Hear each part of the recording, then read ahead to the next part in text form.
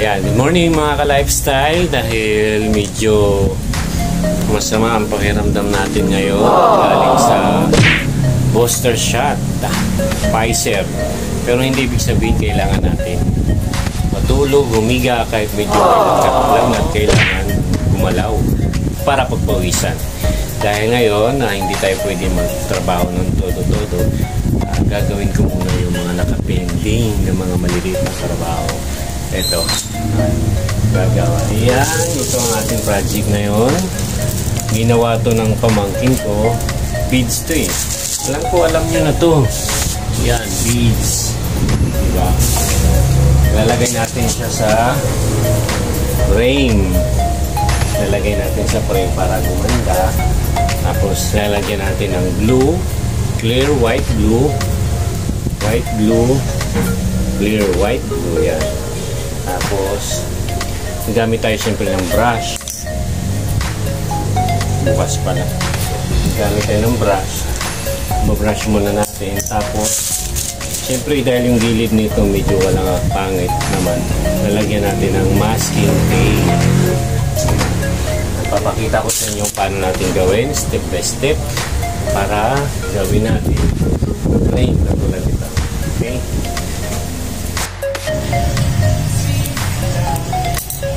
Yan. Dahil madumi ito, pangit tingnan, nalagyan natin ng colored paper. Kaya nasa inyo yan kung anong, anong gusto nyo gamitin para magpapang to. Colored paper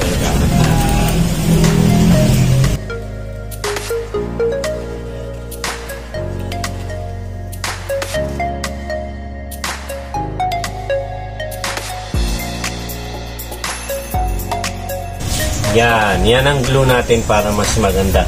Huwag kayo bibili-bili dyan ng glue ng ano. Ayon sa yung mga ordinary kasi mayaman yung glue. blurred pa rin yung hindi tulad nito. Clear talaga. Tapos,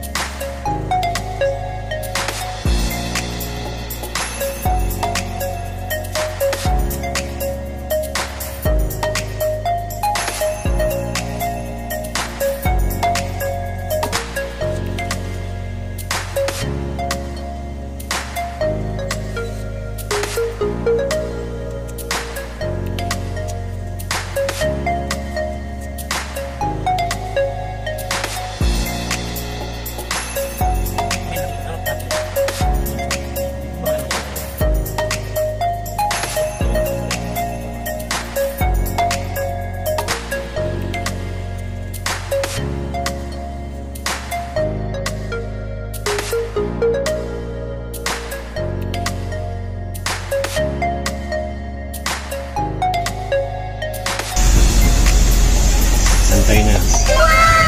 Pantay na.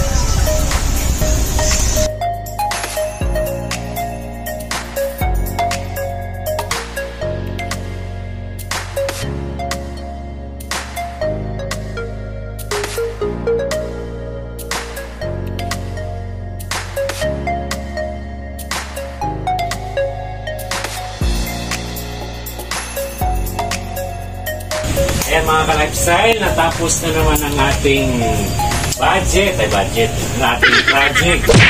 Ito na, tapos na ating project, maganda ba? Ayan, tayo lang gumawa niyan. Pwede tayong mag-decorate ng kung ano yung nasa isip natin.